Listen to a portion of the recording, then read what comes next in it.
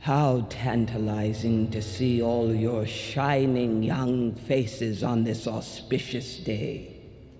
I am Dr. Volumnia Gaul, your humble head game maker in charge of the War Department and all its affiliated concerns.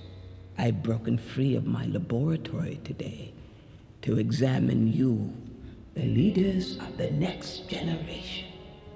I won't be around forever after all. and now to that end, I am honored to introduce to you the creator of the Hunger Games themselves, Dean Casca Highbottom. Uh,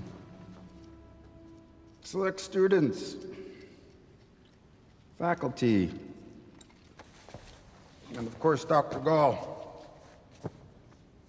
I have summoned you all here today for the 10th annual reaping ceremony, in which we choose two children from each district to throw into the Capitol arena to fight to the death in the Hunger Games.